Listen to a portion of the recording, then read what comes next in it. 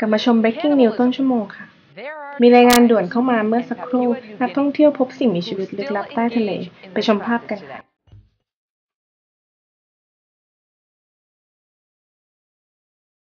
ภาพถูกส่งมาจากนักท่องเที่ยวกลุ่มหนึ่ง พบสิ่งมีชีวิตประหลาดใต้น้ำ ลักษณะคล้ายปลากระเบนราหู มีนิสัยขี้เล่นเข้ามาป้วนเปี้ยนอยู่ในกลุ่มนักดำน้ำพบอย่างน้อยสองตัวแล้วจากที่เห็น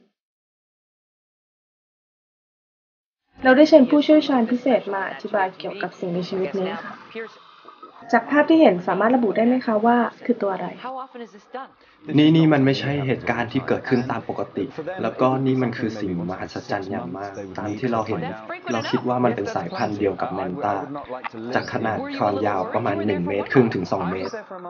เดี๋ยวเราตัดภาพไปสัมภาษณ์กับนักท่องเที่ยวที่อยู่ในสถานที่จริงกันนะคะ What What did you just see? What just happened here? ผมก็เห็นเป็นคนดูดูอยู่เยอะแยะผมก็ไม่รู้ผมเห็นไกลๆเหมือนกันครับเห็นว่ามันมหัศจรรย์มากจริงๆ What เล did ย อ๋อจริง ๆ แล้วหนูไม่รู้หรอกค่ะหนูนอนอาบแดดอยู่ตรงนี้ทำไมพี่มาถามหนูล่ะคะสุดท้ายก็ยังได้ข้อสรุปไม่ชัดเจน ถ้ามีความคืบหน้าเราจะรายงานให้ทราบภายหลังนะคะ